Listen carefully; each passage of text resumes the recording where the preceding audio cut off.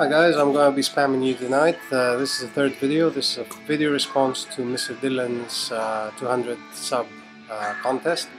Uh, congratulations for that. Good thumbs up. Way to go. And um, yeah, he has some really good uh, questions there. I wanted to respond. So, question number one uh, Do you think drugs make music?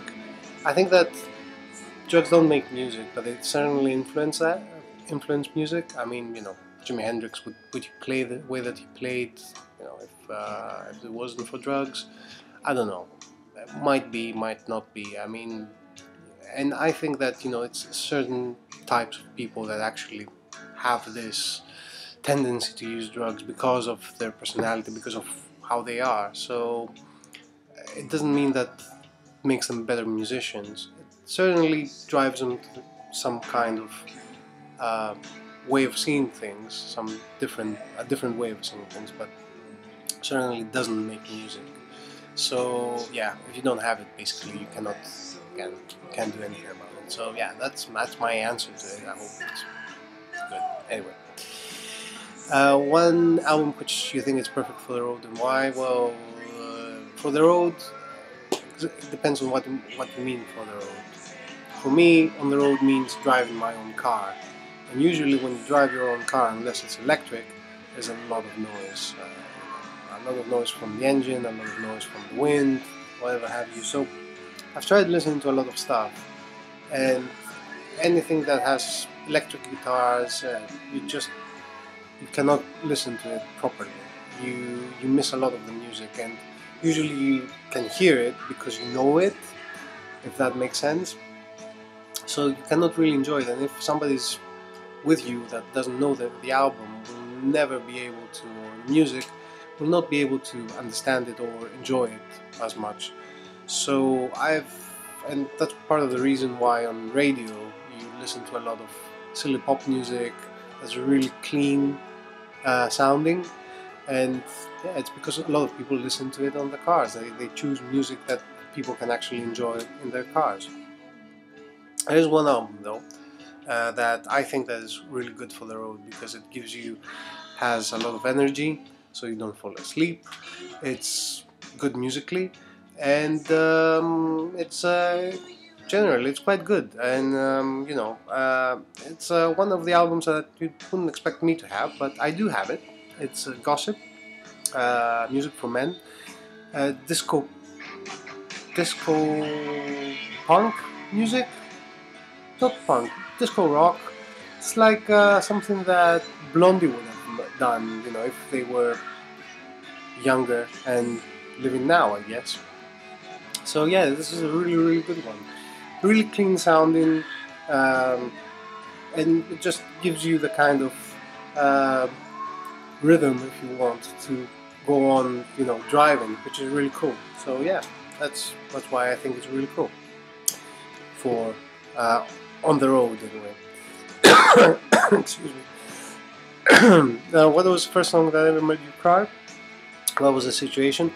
I've never cried for uh, with a song. I, I never, no song has made me cry, to be honest. But there is one song that is send shivers down my spine, and that is "Lullaby" from Low. Do check it out on YouTube. There are two versions of Lullaby. There's one version that came out on an album, I think, and there's one demo version which is 10 minutes long, and it's unbelievable. And I'm talking about that one. It's just haunting. It's chilling. It's it's devastating. It's unbelievable, and you have to listen to it to uh, understand it. And if you can, find it on a good quality uh, you, so we can actually listen to what's going on because there is it's, it's a lo-fi recording and there's a lot of um, uh, nuances uh, in the music and it's just just so amazing. Uh, do check it out. It's unbelievable. So sorry about that but it's a really good song. Do check it out. And uh, finally one cover song that you really enjoy and one cover song that you really dislike. So I will tell you one uh, one one cover song that I really really enjoy is um, what's the name of that song? The Ghost of Tom Joad. Now that was originally a Bruce Springsteen song, and it was like a ballad, really dozy, sleepy kind of balladry there from uh, from uh, Bruce Springsteen. I, I didn't know it from uh, from Bruce Springsteen. I found it out from Rage Against the Machine that had uh, an album called Renegades that came out in 2000 and they had different kinds of uh, cover songs. It was all cover songs. And the unbelievable thing about it is that uh, it never occurred to me that this was a cover. Um, the lyrics are just Rage Against the Machine. You, you know, you, I would, I would bet my life it was. They actually wrote that song, and the music they just took it and made it their own, and it's unbelievable, unbelievable. Now that's that's one. Uh, the other one is uh, now uh, it's uh, from the White Stripes. Yes, it's the White Stripes and it's Jolene. Uh, that was a Dolly Parton song, which is like country and western, but they took it and again they gave it, they, they put in their own soul in them into that song and, and they just you know they breathed life into it. And it's so um, so powerful that it, it's unbelievable. I mean Dolly Parton yeah it's country western you know it's like you know meowing a lot. And uh, but the the White Stripes one is really really good. And one that I hate is I, I really really hate that is Downtown Train.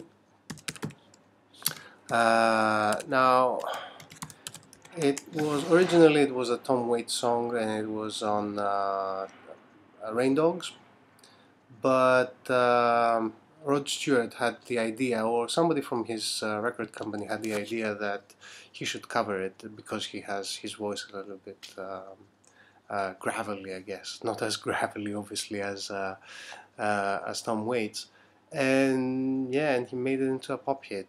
And um, yeah that was terrible. So those are my answers. I hope you enjoyed. And um, congratulations again for the 200 subscribers. And um, see you guys soon. Cheers